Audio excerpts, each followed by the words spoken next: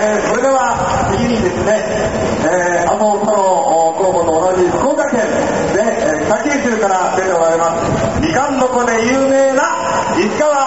京都大日からお伝え申し上げます。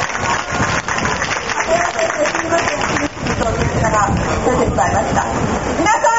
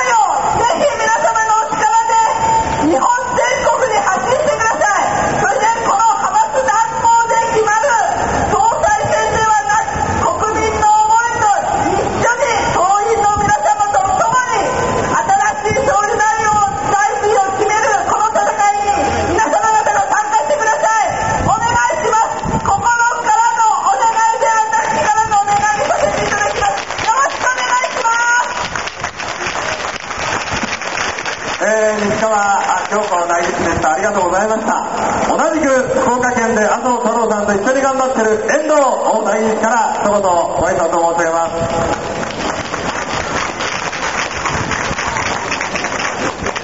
皆さんこんばんは。福岡一区。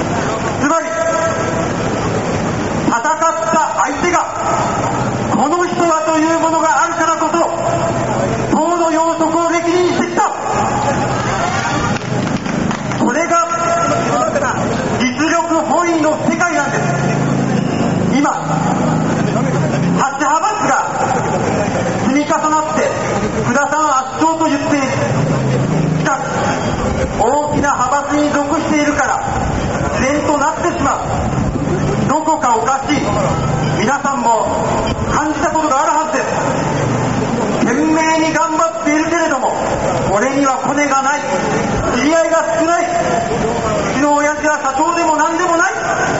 なのにあいつの方がどうしていい思いをするんだろうそういった社会においてのおかしさというものを麻生太郎なら打ち破ってくれるそう思いませんかそしてもう一つ私は言いたい麻生さんが漫画が大好きだということは皆さご存知だと思います。何を隠そう私もゴルゴ13もこち亀も全巻持っている。大好きであります。その中で麻生さんが言うことが一つある。なぜこち亀やゴルゴ13が長く続いているか知ってるか？それは個人のキャラクターを変えないからなんだつまり自分自身がこれが正しいと思ったら変えないということが本当に長く信頼を受けるこういった信念に基づいて政治活動をしているそれが麻生太郎です。だとするならば今回の総裁選それからの日本の在り方そして皆さんの将来のかかった大事な大事な総裁選です。皆さんがもしもこういった社会を望むならばどうかどうかあるべき姿として麻生太郎に強い強い応援のメッセージを送ってくださいよろしくお願いいたしますえー、遠藤大臣からのお伝えでした。あと9分で麻生太郎がやってます。